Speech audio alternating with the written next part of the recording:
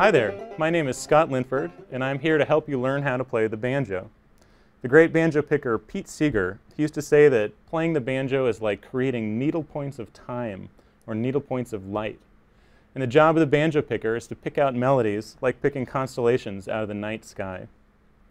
So I'm here to help you walk through some examples. We're going to learn how to play different strumming patterns with the right hand, as well as pick out melodies with the left hand, learn chord shapes, change tunings, and we'll learn a lot of great songs along the way. So go out and pick it up at your local music store, an internet retailer, or alfred.com.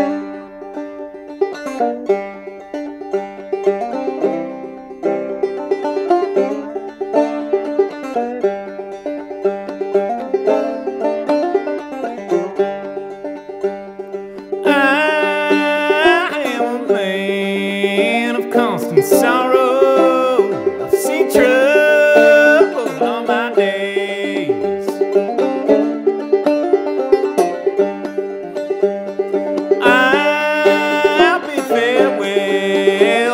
Kentucky.